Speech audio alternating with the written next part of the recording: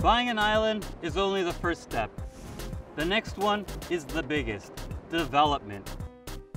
Because islands have fragile ecosystems and they're often surrounded by parks, there's usually heavier restrictions on building.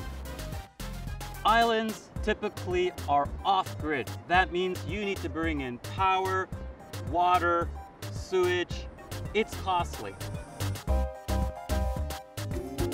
It's going to cost you 20 to 50% more to get the materials onto the island. Barge costs, fuel costs, especially if you're talking about fine tuning, materials need to be top end.